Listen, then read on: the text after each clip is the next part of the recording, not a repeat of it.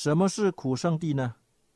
生是苦，老是苦，病是苦，死是苦，心的哀愁、哭泣、悲叹，身体上的疼痛，身体上不舒服的感受，心中不愉悦的感觉，感觉很苦恼，这是苦。接着，不想要的偏偏遇上了，这是苦。想要在一起的，偏偏不能满愿，这是苦。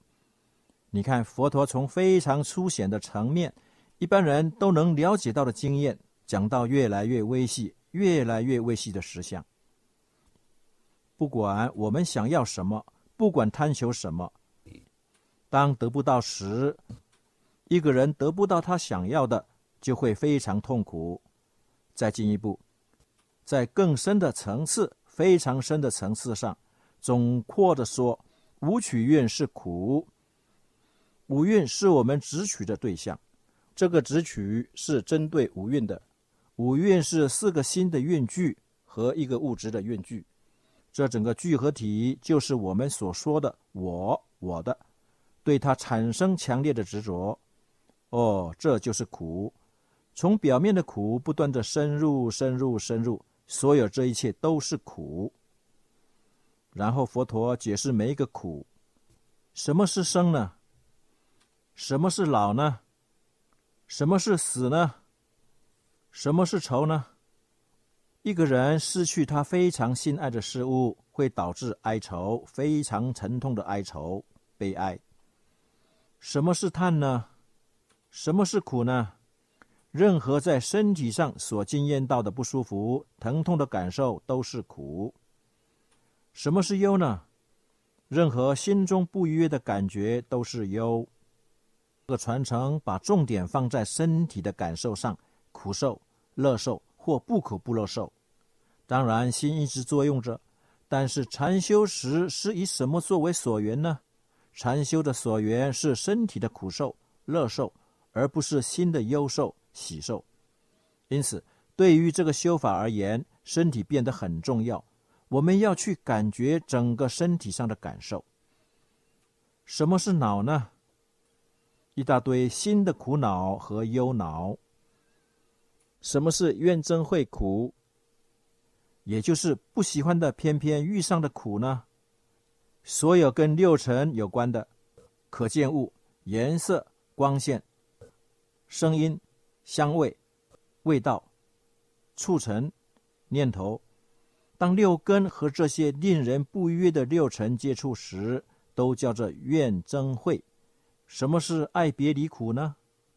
任何令人愉悦的沉浸，那些亲爱的人，像父母、兄弟姐妹、朋友等等，当你失去他们时，和亲爱的人、亲近的人离别，会导致痛苦。什么是求不得苦呢？有人知道不断轮回出生是极大的痛苦，于是发展了这样的欲求：我不喜欢不断的出生，我要从这当中脱离出来，愿我能够不再出生。但是并没有达到不再出生的境界，因为这样，因为这个欲求没有满足，就会变得非常的痛苦。面对年老的自然现象。一个欲求升起了，我最好不会变老，希望我不会衰老。这种欲求并没有实现，这种欲求没有满足，就会产生痛苦。面对疾病、生病，一个欲求升起了，我希望不会生病，希望我能不生病。这种欲求并没有实现，这种欲求没有满足，因此而痛苦。接着是关于死，面对死亡的自然现象、自然的法则，产生这种欲求。哦，希望我不会死，我希望永远不会死，愿我不会死。这种欲求没有实现，因为这种欲求没有满足，就会因此而痛苦。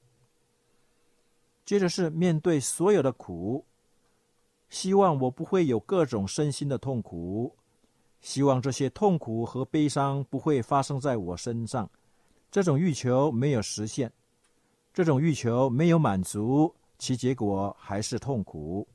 这是关于五蕴，对五蕴的执取，对五蕴的执取，五蕴成为执着执取的对象。这是执取五蕴所产生的痛苦。这是关于第一圣地苦圣地的解释。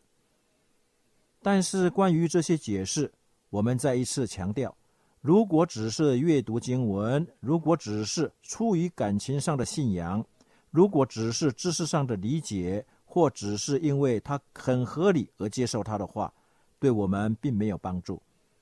我们必须去体验它，由体验而达到究竟。这是整个八圣道的过程，这是整个内观的过程。以持戒为基础来训练心念的专注，你因此能够体验到较微细的实相。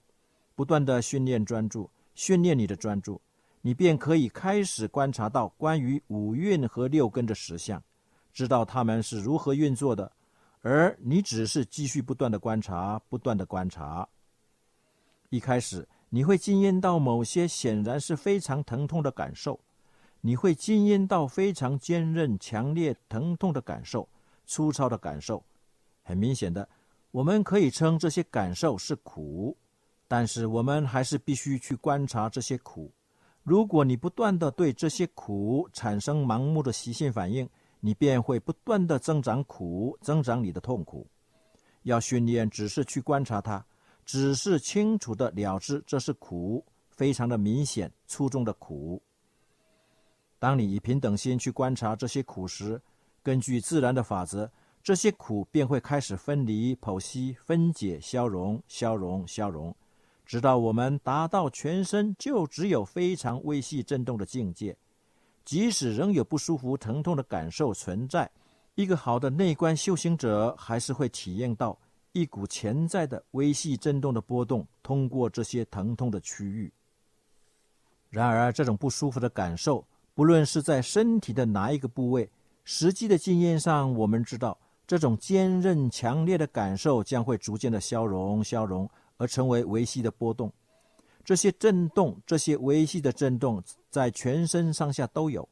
即使在那些坚韧强烈的感觉的部位，也有微细的波动，波动，不停的波动。这时候，这些疼痛的感受，感觉上就不像原先那么的痛苦了。接着。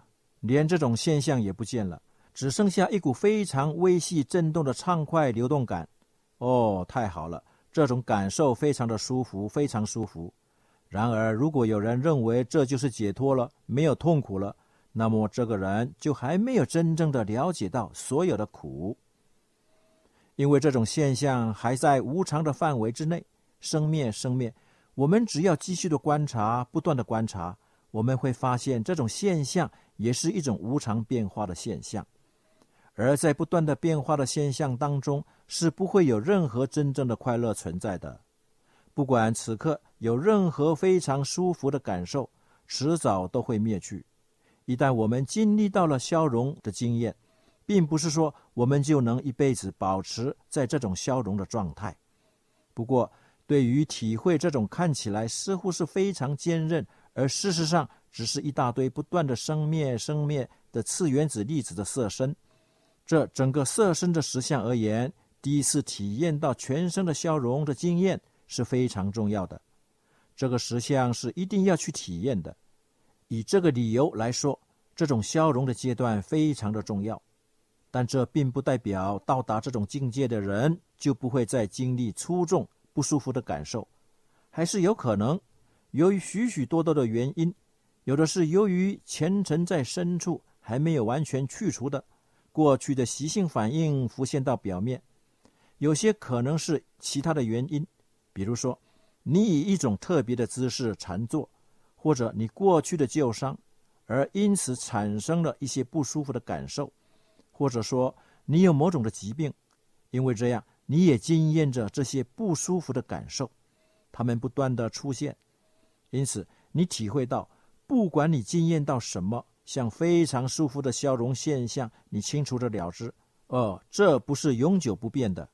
由于某种原因，这种现象消失了，然后再一次经验这种舒服的经验，呃，这也不是永恒不变的乐受，这对我而言并不是快乐的泉源。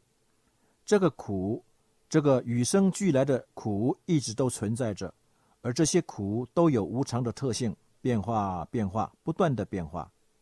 像这样子继续的观察，继续在苦的整个的范围移动观察，就会达到清安的境界，非常的清安，身上似乎不再痛苦，没有任何不舒服的感受，非常的平静，非常的安详。但是我们还没有圆满整个身心的范围，因为这种境界还在身心的范围之内，在这种清安的状态当中。仍然是在不断的生灭生灭，因为这种境界仍然是无常，不断的生灭生灭，所以我们继续接受这个事实，这还是在苦的范围之中，并不是经验到这种清安的境界，一辈子就是保持在这种状态。清安消失了，我们又会再经历到粗重的感受，这些境界都是这样来来去去，来来去去。这还不是真正的快乐的境界。如果是超越了整个苦的范围，我们就会经验到超越身心范围的事物，不再有生灭的境界。只要是有生物升起呈现的境界，就不是永恒的境界。诸行无常，任何和合而升起的事物，迟早会因为因缘离散而终究归于毁灭的，这是自然的法则。但是，当我们体验了超越身心这种不再有事物升起的境界时，一旦我们经历了这种境界，我们就可以说：“哦，我已经探究了整个苦的范畴。”否则的话，你是不能这样说的。因此，如果只是非常粗重的苦，我们就不能称之为圣地。这种苦是苦圣地的一个开始，但是真正的圣地是要探究了整个的范畴。你已经以直接的经验去探究了整个范畴。